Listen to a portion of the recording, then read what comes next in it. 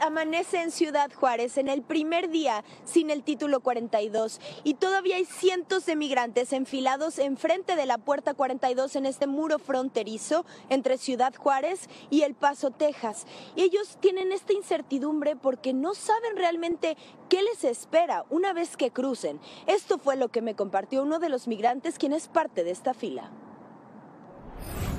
Eso es lo que estoy esperando, por, eso voy a seguir haciendo la cola a ver qué nos pueden decir después que crucemos. Pero si llegan a colocar el artículo 8, creo que ya tocaría deportación a país de origen, ¿no?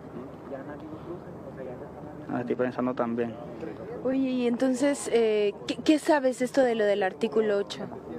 No sé mucho en realidad. Solamente lo que han dicho.